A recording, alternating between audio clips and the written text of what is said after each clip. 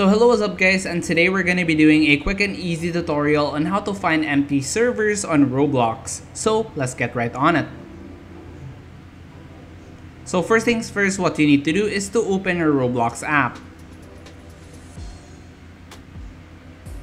Once you have opened your Roblox app, you would want to find a game that you wish to find an empty server on. So for example, if you want to find an empty server on Blox Fruits, what you want to do is to open the Blox Fruits game and then you would want to scroll down. And there you could see the server option and then click on it. Now, once you're in the server section, you would see a ton of servers with a lot of people. Now to find empty servers, all you need to do is to make sure that exclude full servers is enabled and make sure number of players is from descending to ascending. And this will allow you to see servers with only one people or less people. And that's basically how to do it on mobile. Now I'll teach you how to do it on the PC version.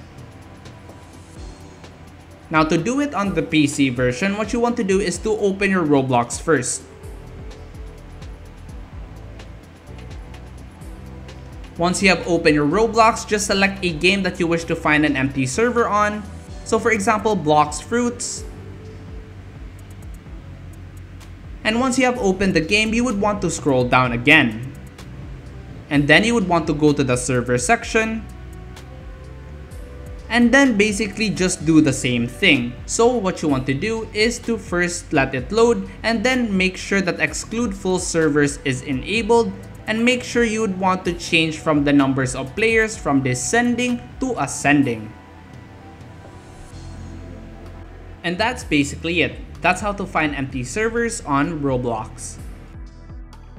Thanks for watching and I hope you enjoyed this video and found the information useful to you. If so, please give me a thumbs up and subscribe to the channel. It will help me a lot.